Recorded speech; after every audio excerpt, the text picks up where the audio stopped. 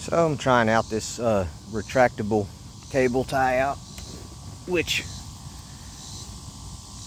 I obviously don't keep her on, but I'm gonna have her on sometimes, you know.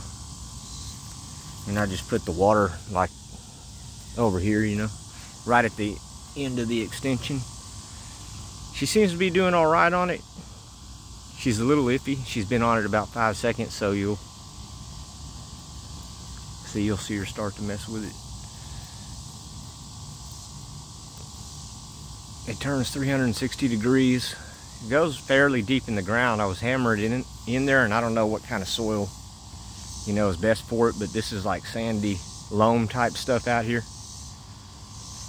with heavy clay in the bottom. But it's in there secure. I mean, I could pull on it hard. It's not coming out.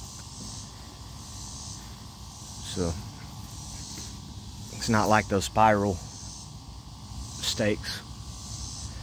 I don't understand them spiral stakes, man. Maybe they need to be in a certain kind of soil or whatever, but you put a any type of bulldog or, you know, mastiff or a pit bull or anything on there and it's just going to come out of the ground. Which makes sense to me because the spiral's tearing up the ground and kind of loosening it up. This is just a stake and this one is for 80 to 120 pound dogs. So I don't know seems to be working good I don't remember the name of it but if you're on Amazon or whatever it's uh, a red one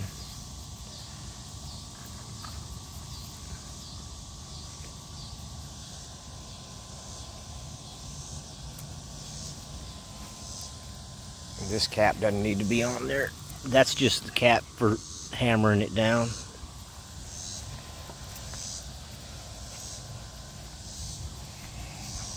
But yeah, she'll only be on there for a little bit at a time, you know, sometimes out here. I'll probably be doing some uh, prey drive work with her. So when she gets a little bit older, I'll probably start working some prey drive with her. Right now, she's starting to lose her puppy teeth at a fair pace and I don't like doing anything like that any kind of like bite work and stuff like that then one the other day had an accident on the uh, tug toy. And you know so she one of her baby teeth came out just a little premature which is fine but it caused a little pain. You could tell. No whining or nothing but she opened her mouth and turned her head to the side and like oh got one of those baby teeth. So I'm just careful about that, you know. Uh, but anyway, it won't be long. I'll start working with her on that prey driving.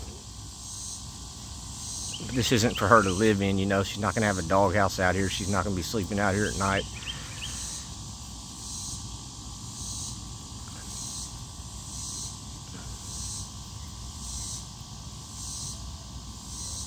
I don't really feel like getting into how I increase drive like that, prey drive. I mean, people that want to know or, or already know, they know.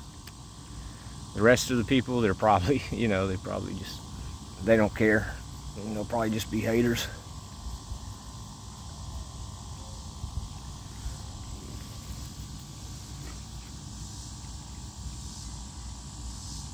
She's doing pretty good though.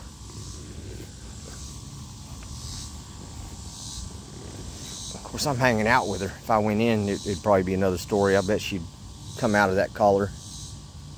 That collar was, uh, I think it was for, I don't know what dog it was for, but uh, she's not quite grown into it. So if she were to pull hard enough, she could slip it over her head.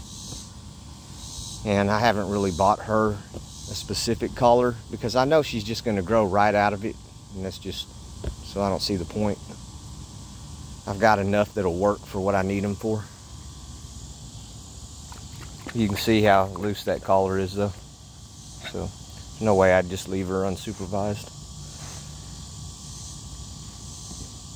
She's about four months old. So let's see if we can see that tooth I was talking about or you see that tooth right there? She chipped out part of that baby tooth.